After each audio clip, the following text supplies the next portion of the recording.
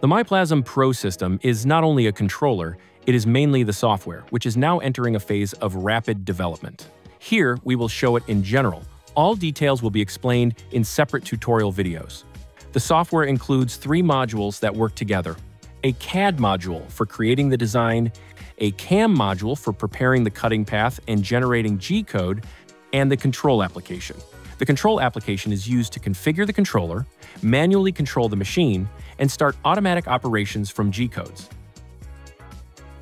The graphical interface can be freely customized by the user, so you can adapt the software to your own needs, comfort, and visual preferences.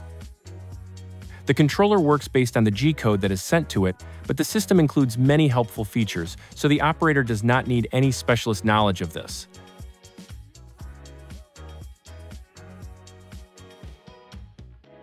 The easiest way to prepare G-code is to use the built-in CAM module, but you can also use external tools. The buttons on the top bar let you easily switch between modules.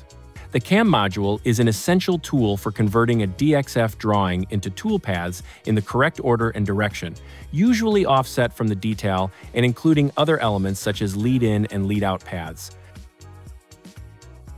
After you set the cutting parameters, the G-code is generated automatically and can be sent to the control application with a single click.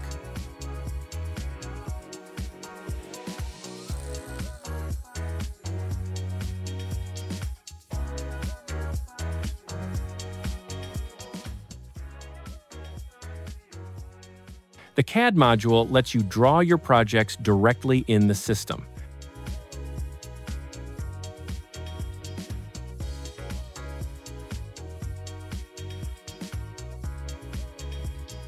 With just one click, you can send the design to the CAM module, which will create the toolpaths and generate ready-to-use G-code for the Your machine.